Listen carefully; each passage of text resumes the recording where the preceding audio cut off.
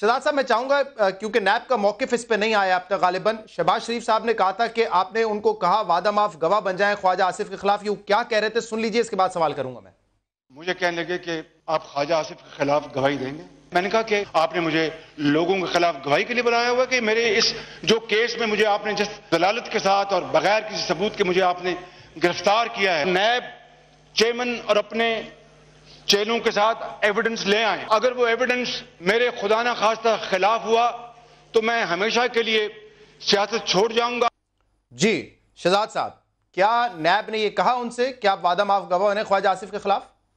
جس کانٹیکسٹ میں جس جس طرح انہوں نے اس کو فریز کیا یہ بالکل غلط ہے۔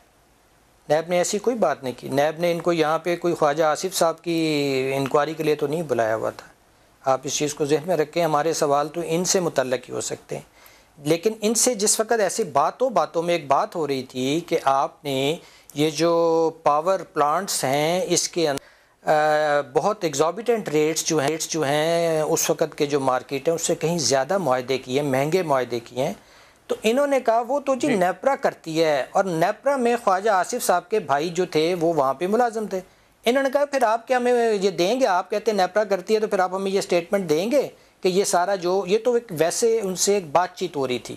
اس بات چیت تو انہوں نے اتنا زیادہ وہ پرپوشن اس کی بیلنس آؤٹ کر دی کہ وہ لگ رہا ہے جیسے وہ خواجہ آصف کے کیس میں آئے ہیں۔ تو ایسی بات نہیں تھی۔ یہ بات تھوڑی سی کسی اور مطلب آپ نے انہوں نے یہ کہا کہ نیپرا یہ دیتی ہے ٹیرف وغیرہ تو آپ نے کہا کہ اس پر آپ سٹیٹمنٹ دیں گے تو اس سٹیٹمنٹ دینے کی بات کو انہوں نے اس طرح ہاں۔ پیش کیا ہے کہ آپ نے ان سے یہ کہا ہے کہ وعدہ معاف گواہ بن جائے خواجہ آصف کے خلاف۔ ایسے۔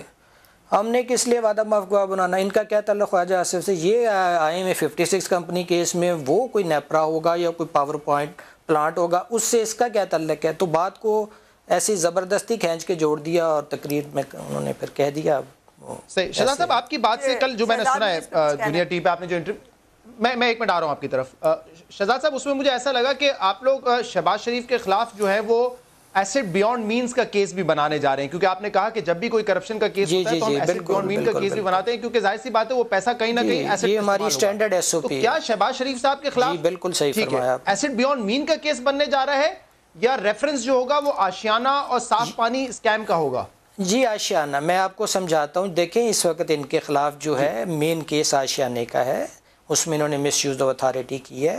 ان کی اس مس یوز آف اتھارٹی سے جو قومی خزانے کو نقصان پہنچا ہے in shape of escalation of that project in shape of وہ لوگ جو جن لوگوں نے ساٹھ ہزار لوگوں نے درخواستیں دی تھیں in shape of various administrative expenditure جیسے فیزیبلٹی اسٹڈی اور سروے اور کنسلٹنسی وہ بھی کوئی بیس پچیس تیس کروڑ روپیہ بن جی۔ جاتا ہے تو یہ سارے لاسز یہ سارے گورنمنٹ کی کٹی سے جاتے ہیں یہ یہ تو کوئی وہ مفت میں تو نہیں ہوتا یہ ہر پروجیکٹ کو کرنے کے لیے اس کی ایک کاسٹ ہوتی ہے اور جب آپ اس کو ایک ٹائم پہ نہیں کرتے تو پھر اس کی جو ایسکیلیشن ہے وہ ایک الگ اس میں جا کے جمع ہوگی۔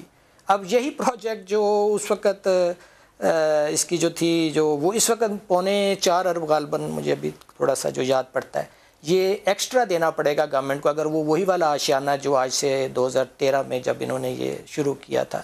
تو یہ یہ جو نیب کا لا ہے نا وہ یہ وہ دو باتیں کرتا ہے کہ یا either you have got benefit for yourself اور you have given benefit to any other person this both are criminal offence this is a misuse of authority یہ نیب کا بہت کلیئر لا ہے تو سارا دن یہ بات کرنا کہ میرے پاس کچھ نہیں میں نے کچھ نہیں لیا اگر کسی اور کو بھی غلط دیا ہے اگین یو آر مجرم تو یہ بات تھوڑی سی یہاں پہ اتنی ٹی وی والی تو ہے نہیں